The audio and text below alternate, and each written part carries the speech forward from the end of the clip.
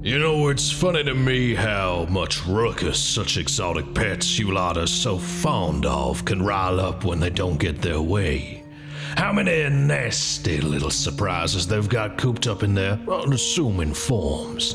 Why, I've seen barbs and venoms that would leave folk like yourself looking where they step for the rest of their natural lives. Now, see, that's the problem with our current arrangements. These little critters are very, um, enthusiastic and prone to nipping little parts off you. Way I see it, I've spared you an awful lot of hassle in a manner only I can provide. So that'll be 250 gold. Not next week. Now.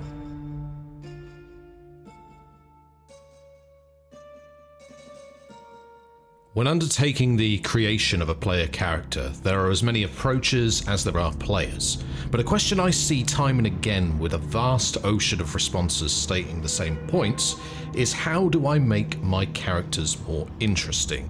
Or how do I avoid getting bored of my character?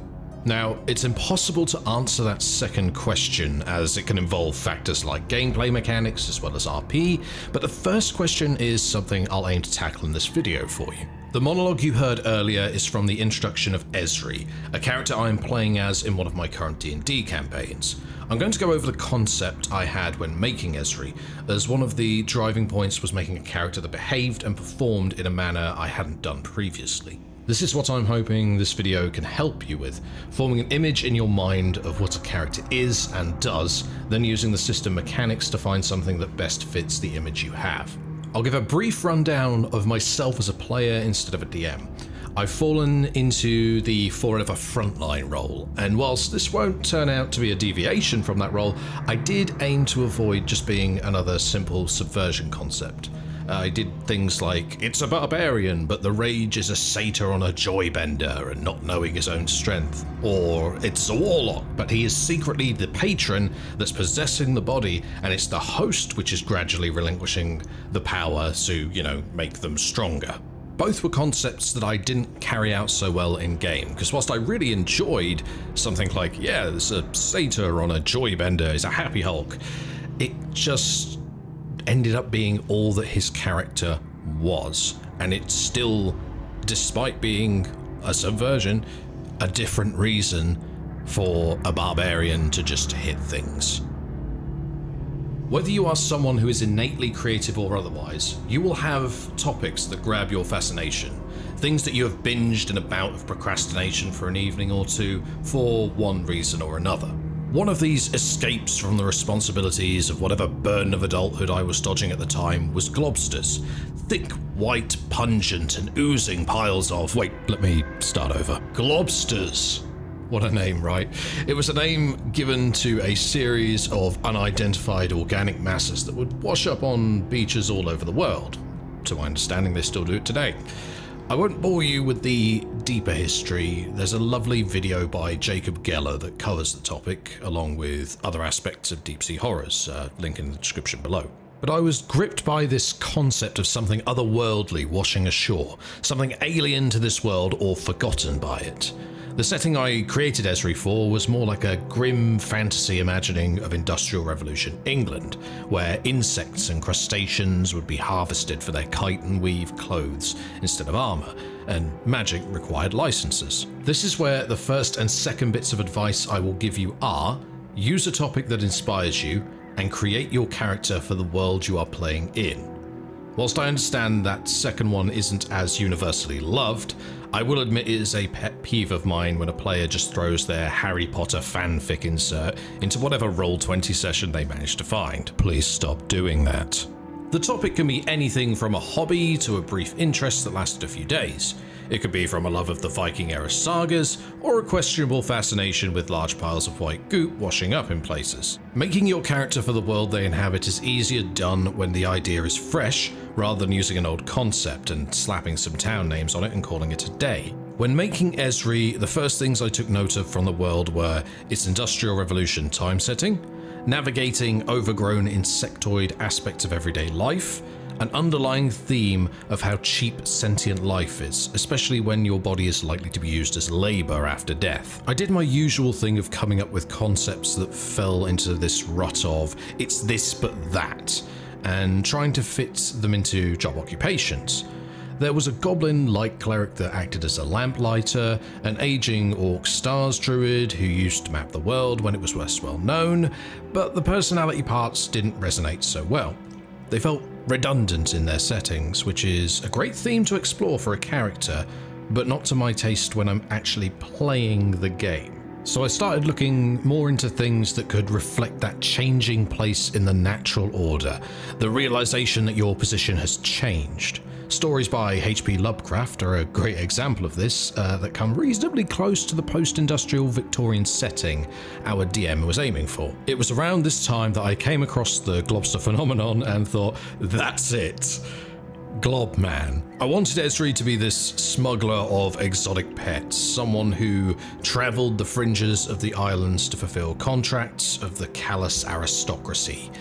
With a job so dangerous and remote, how would a lone individual achieve this though? Insert tragic backstory time. Esri was not always the callous smuggler he is today. His early life within the village of the Wildero Isles was without remarkability, being one of a set of twin elf brothers taking up the local trade of fishing. Something remarkable would happen to this village, however, something horrifically and inescapably remarkable.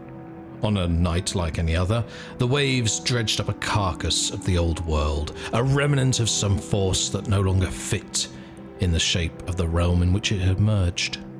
Ezri, his brother Richt, along with a handful of other locals, were the first to discover this mass upon their shores. The pale white shape of strained elegance seemed lifeless to all present, with Ezri offering to reach out to the larger settlements for support in cataloguing and disposal. Yet Richt, his brother, saw something he did not, convincing the elders that this would only bring ire to their locality. Over the following days, more of the townsfolk became strange, gathering around the body of this corpse from beyond the veil, performing bizarre rituals and speaking in tongues unknown to these parts. Ezri saw the madness that had gripped his neighbours, his friends, and his brother, opting to put a stop to this whilst he still could. During the early hours of one evening, he managed to pick a moment of lapse in the rituals to set this abomination alight. The amniotic sac of an object with no protest to its fate, shriveled into charred misery, to the crippling dismay of its onlooking worshippers. Esri could not have predicted that these people too would suffer as a result of his actions, first seeing Richt, then the rest sear from invisible heat before collapsing into the same pale mulch as their idol. As soon as his horror loosened enough for Ezri to resume motion, he dove to the puddle where once his brother stood, only to be met with a scathing agony. The substance seemed to pour up his arms, burning these strange etchings into his skin where it found purchase. Even before the branding cooled, Ezri could feel knowledge of the formless thing flowing through his weakened mind, the power to alter parts of one's self for the same reason it hadn't been able to claim his mind initially, it failed to entrap him in its death throes as well. However, it had nonetheless left those parting abilities, along with a hatred of whatever it was that had visited desolation upon Esri's village. Following the event that mired his early years, Esri travelled to Heartwood seeking whatever work would put him in a position to test this new knowledge, honing himself in the ways of combat. On one particular excursion, he found he was able to give untamed animals the ability to understand and obey his will. Esri soon put this gift to less than benevolent uses, however, swiftly becoming a go to for supplying exotic pets to those with discreet appetites. With each success, he felt the pain of his founding experience numb, travelling to the Rough Sea Islands and the Shoal to further ply his trade. Having lived a further few decades on from his origins, fate would throw a rock at Ezri once more. Whilst travelling to Karsine, he came across news framed in one of the displays on his vessel. A rather adventurous human aristocrat was depicted with the caption of Fresh Discovery from the Frontiers. Garnet Dubois stands alongside her prize, hauled from shores unknown. For the first time since the corruption of his home, Esri's mind burned with seething intent. This woman, Garnet, was stood beside something that very much resembled what washed ashore that fateful night. So, with a character and a little backstory in hand, now is the time to look at the options in the system your DM is running and find something that fits your theme mechanically.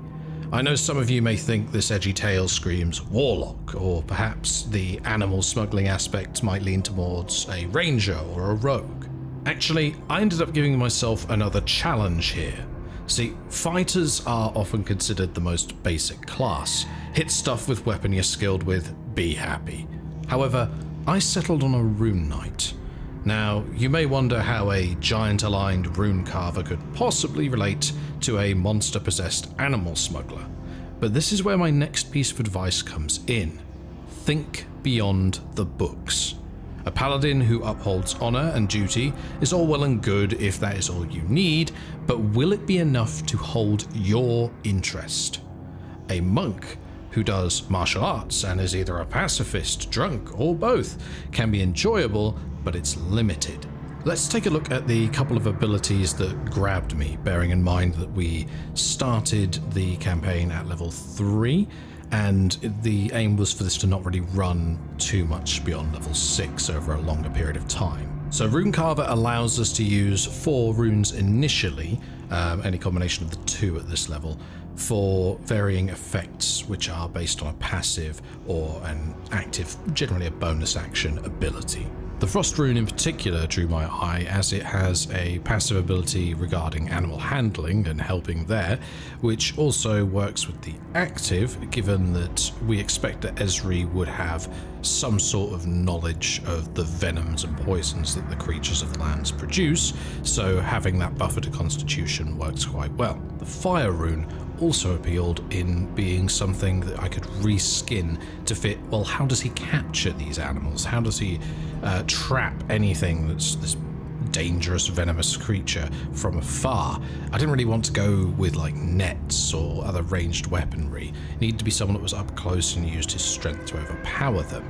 And that's where this image of chains didn't quite work, but we have the theme of this possession of this like tendrily oily stuff that sort of loops off him Venom symbiote style. Which coincidentally leads us into Giant's Might, the other third level ability, where as a bonus action we can grow magically large for a minute. For Esri, I don't really imagine him growing larger himself physically, but these oily tendrils encapsulating his body, making the space he occupies greater. Now of course this doesn't affect anything mechanically, the rules are still being followed in the same way, it's just describing and envisaging something slightly different. And other than mentioning that he is an elf, I haven't actually specified Esri's race yet. I ended up going with a Shadar-kai, mostly down to the necrotic resistance and the you know, teleport helps if you're a fighter, I guess. And once again, think about the advice of Beyond the Books. It's all well and good saying that a Shadar-kai is two links to a Raven Queen and the Shadowfell. No, don't worry about that part. Just think about, does this help me mechanically in expressing the character I'm attempting to roleplay? It's very similar in outcome to how an optimizer might approach things, for example. What mechanics are going to help me perform better in the game? And whilst when we say perform better in the game, an optimizer is looking more at the mechanics and the actual gameplay, encounters, social situations, etc. I'm more focused on seeing if I can get a character to be more interesting long term. And a huge part of this as well is going to be voicing your character. Now, I am by no means an expert. I've dabbled in voice acting here and there, but nothing in a massive professional capacity. So I don't feel like I can really advise you a huge amount on particular techniques in it. Just pick an accent and try it. I mean, I tried that horrendous Louisiana abomination at the beginning for Esri, and it stuck so far, even if it came across less as a Tom Kench impression and more Daniel Craig in Glass Onion. Thanks for uh, thanks for pointing that out, DM. I hope this video has been somewhat helpful for you in some capacity for creating your own characters. And I just wanted to say thank you for the, the kind words and just general good reception I've had for the last video that I put up on the Archfey. I've also added a collection of some of the tracks that I use in the background here that were more Dark Fey adjacent earlier in the week. I'm generally going to try and aim for a little bit of a balance in music that I've created for use in my D&D campaigns and also for discussion points such as this. So have a very good day wherever you are, and may your characters resonate with you as much as you wish.